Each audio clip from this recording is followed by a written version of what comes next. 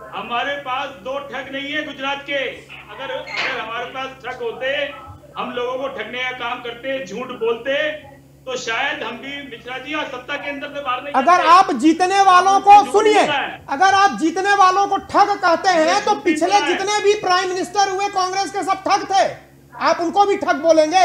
अरे कैसी भाषाएँ सर आप लोग प्रयोग करते हैं। इन्हीं भाषाओं के कारण आप कुछ कर नहीं पाते हैं। मानिए जो जीत गया जो जीत गया जो जीत गया उसका सम्मान करना सीखिए।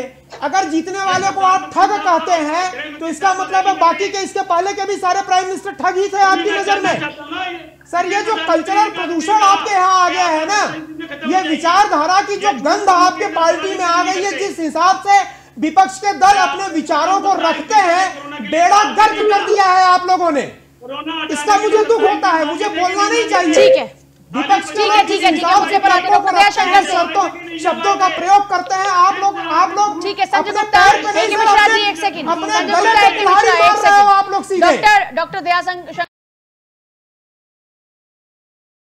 और शुरुआत कर लेते हैं ए के मिश्रा जी आपसे क्योंकि जैसा हम आज चर्चा कर रहे हैं सीएम योगी को अब बंगाल के चुनाव में भी उतारा जा रहा है और बीजेपी को ये पूरी उम्मीद है कि उनकी एंट्री ममता बनर्जी के किले ध्वस्त करने में बहुत मददगार साबित होगी। आप इसको कैसे देखते हैं?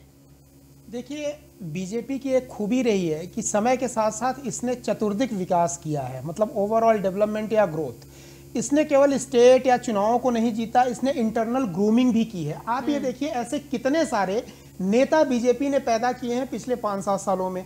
उसमें से योगी आदित्यनाथ जी एक बहुत प्रमुख जो है व्यक्तित्व हैं, ये इनका एक वैल्यू एडिशन है और ये बीजेपी के लिए यूएसपी है।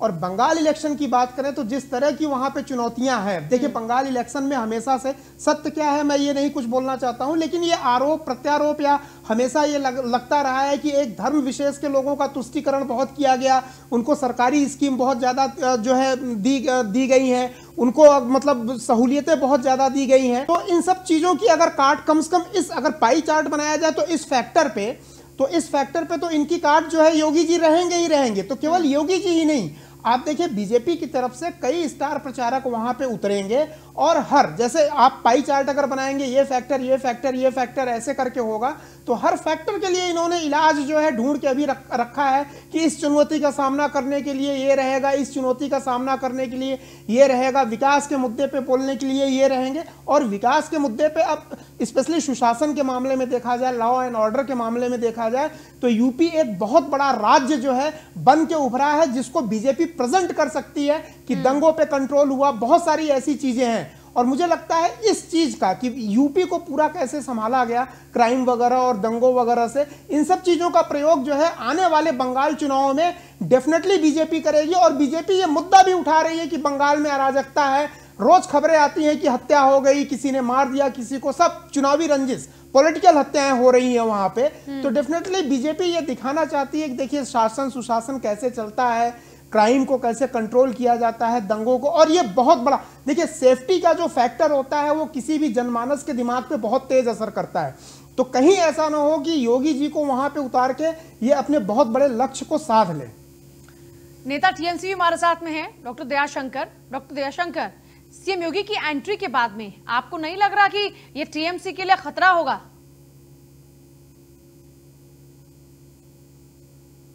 डॉक्टर दयाशंकर हैं क्या हमारे साथ? संजय गुप्ता बहुत मुस्कुरा रहे चलिए उनका रुख कर लेते हैं शायद आवाज़ नहीं पहुँच पा रही है। संजय गुप्ता जी ये तो कह रहे हैं कि हमने योगी जी को उतार दिया और योगी जी बहुत मददगार साबित होंगे लेकिन कांग्रेस का क्या होगा बंगाल में? पहले तो मैं इस- बात के लिए मैं अचंभित था कि मिश्रा जी ए के मिश्रा जी हमारे पॉलिटिकल एक्सपर्ट है वो बोल रहे हैं या प्रवक्ता बीजेपी बोल रहे हैं मुझे समझ में नहीं आ रहा था। बस दो ही लाइनें तो आप ध्यान से पास तो रह गई हैं सर बोलिए। सर तो मैं कहना चाहता हूँ दो लाइनें आप लोगों की शुरुआत होती है। अरे ये यही सत्ता से सवाल की तरफ़ जा रहे हैं। ये पार्टी हो चुकी है।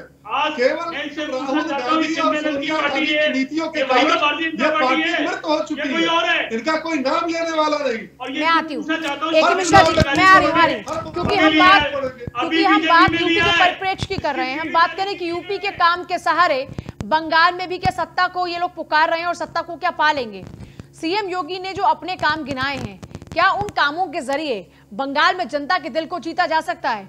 और हमने देखा भी जब जब जैसे बंगाल की एक हम बाइट सुनवा भी रहे थे, जब वो पहुँचे और उनकी ओर से ज़िक्र किया गया तो लोगों का जो समर्थन और सहयोग उनकी बातों को मिलता है, वो देखते ही बनता है। देखिए पूजा, सबसे पहले मैं संजय जी हैं, जरा उनको आश्वस्त कर दूँ। हम यहाँ पे बात करेंगे कि राजनीति क्या है और चुनाव कैसे जीता जाता है। आप अच्छे हैं बीजेपी खराब है आपने विकास किया उन्होंने नहीं किया ये आप लोग अपने पार्टी तक रखिए मेरा उससे मतलब नहीं है। सवाल ये है आप ये देखिए यूपी के जो विकास है या जो सुशासन का मॉडल है बीजेपी ने पहले क्या किया था? गुजरात के मॉडल को दिखा करके तो इन्होंने पूरे देश में सरकार बना ली। तो क्यों नहीं उस चीज़ को अगर वो ट्रस्टेड चीज़ है वो उसको रिपीट करेंगे उनकी अपनी स्ट्रेटजी है। दूसरी चीज़ इमोशनल क्वेश्चन सबने सुना है ई क्यू ऐसे ही देश का वोटरों का एक पोलिटिकल क्वेश्चन होता है पीक्यू होता है वो एक डिटेल चीज़ है हम कभी उस पर बात करेंगे। राजनीति में ज़्यादातर ये देखा गया है कि रेशनल डिसीज़न वोटर्स नहीं लेते हैं। राजनीति में इमोशंस का एक बहुत बड़ा रोल होता है इंक्लूडिंग अमेरिका। अमेरिका में आप देखिए पिछले कैंपेन में क्या था? Let's make America great again ये इमोशनल पोजिशनिंग थी ना ना कि कोई डेवलपमेंट उसकी बात। रेशनल अगर हमारे वोटर अगर रेशनल हो जाएँ और हार्ड कोर विकास और इन सब चीज़ों पे देखने लगे तब तो पाँच साल के भीतर जो है देश सोने की चिड़िया बन जाएगा। मुद्दा यह है यहाँ चुनाव कौन जीतेगा? मैं वहाँ पे केवल दो पार्टियाँ मुझे दिख रही हैं टीएमसी और बीजेपी। बीजेपी चैलेंज दे रही है और टीएमसी अपने आप को बचाने में लगी लगी हुई है। दो दोनों पार्टियाँ मेहनत बहुत कर रही हैं इसमें कोई दो राय नहीं है। लेकिन मुझे ये लगता है कि अब की बार टीएमसी को बहुत ज़्यादा दिक्कत हो रही है। पिछली बार इनको इतनी इन्होंने कांग्रेस को और मार्क्सवादियों को ममता ने जो है बहुत आसानी से हटा दिया। लेकिन अब की बार कहीं ना कहीं ममता दीदी को यह लग रहा है कि चैलेंज बड़ा मुश्किल है, बड़ा टफ है। तभी उन्होंने प्रशांत किशोर को हायर किया। शुभकामना मेरी सारी पार्टियों का है। रही बात कांग्रेस की तो कांग्रेस तो अभी दिल्ली में ही है। अब ये दिल्ली से चलेंगे, कब कोलकाता पहुँचेंगे? कोई काम दिख नहीं रहा है। मार्क्सवादियों का कोई काम वहाँ दिख नहीं रहा है। कोई स्टेटमेंट आ नहीं रहा है। संजय भाई साहब ने यह सोच लिया होगा कि अब की बार हम टीवी डिबेट में बैठ करके ही बंगाल का चुनाव लड़ेंगे। ग्राउंड पे तो जाएँगे नहीं, कभी गए हैं। कभी कोलकाता जाने की कोशिश की संजय सर आपने? संजय गुप्ता। तो आपको तो बात ही नहीं करनी चाहिए। टीवी पे बैठ के चुनाव थोड़ी लड़ा जाता है। बैठ के एनालिसिस करते हैं। आपको ज़मीन की बात का सर मैं राजनीतिक आदमी नहीं हूँ। आपको मालूम नहीं है मुझे ज़मीन पे जाने की ज़रूरत मैं राजनीतिक आदमी नहीं हूँ। के अंदर कांग्रेस का संगठन वहाँ पर है। आपको मालूम नहीं है। सर मालूम है वो तो मुझे पता है कि अठारह से ए ओ ह्यूम ने जब से स्थापना की है कांग्रेस का मुझे पता है। ए ओ ह्यूम ने जब स्थापना की तब से कांग्रेस है। आपको पता है किस तरह के हालात हैं और हम टीएमसी का बचाव करना नहीं चाहते हैं? अरे सर आपकी पार्टी वहाँ दिख कहाँ रही है? गलियों में चौराहों पे कोई झंडा उठाने वाला नहीं दिख रहा है। ब्लॉक स्तर पे जमीनी स्तर पर सभी जगह हमारा संगठन बहुत मज़बूत है। ये ये बात हमारे संविधान के अंदर क्लियर लिखा गया है कि धर्म के आधार पर जाति के आधार पर वोट नहीं मांगा जाएगा। मगर ये भारतीय जनता पार्टी के लोग मानते जवाब देंगे आप किस बात का। है इसके अंदर थोड़े समय के लिए देखिए ये लोगों को समझ में आ रहा है आज किसानों को समझ में आया है देश के उद्योगपतियों को समझ में आ रहा है। मैं बता रहा हूँ कि मजदूर को समझ में आ रहा है। संजय जी, मैं एक चीज़ मानता हूँ कि कांग्रेस पार्टी, आपकी पार्टी वाकई में बहुत अच्छी पार्टी है, बहुत सारे काम किए हैं। मैं फैक्ट की बात करता हूँ।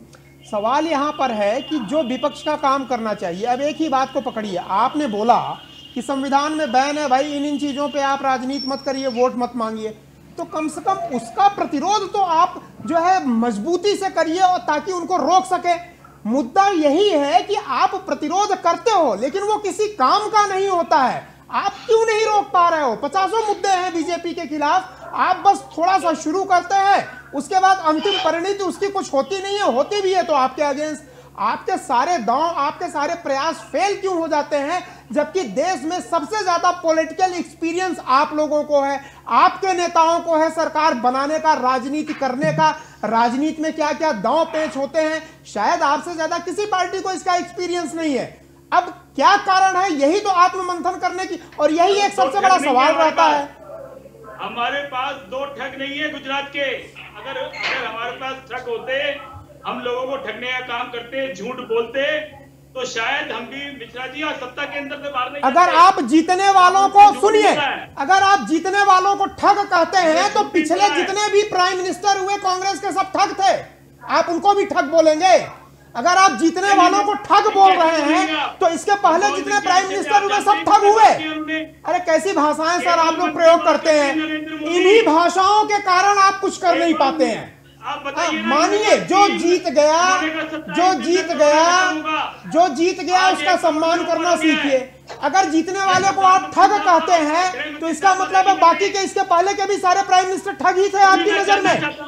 सर ये जो कल्चरल प्रदूषण आपके यहाँ आ गया है ना ये विचारधारा की जो गंध आपके पार्टी में आ गई है जिस हिसाब से विपक्ष के दल अपने विचारों को रखते हैं बेड़ा गर्क कर दिया है आप लोगों ने। इसका मुझे दुख होता है मुझे बोलना नहीं चाहिए। ठीक है। विपक्ष के ठीक है, ठीक है, ठीक को शब्दों शब्दों का प्रयोग करते हैं। आप लोग आप लोग ठीक है संजय गुप्ता एक मिश्रा जी एक सेकंड। आप लोग सीधे। डॉक्टर डॉक्टर दयाशंकर हम आज बात कर रहे हैं कि यूपी मॉडल कितना सक्सेसफुल होगा बंगाल की पॉलिटिक्स में। एक मिश्रा जी इसी को लेकर मेरा आपसे सवाल भी है। यूपी की मॉडल को लेकर बंगाल में अगर जाया जाए तो ये कितना लाभदायक होगा बीजेपी के लिए?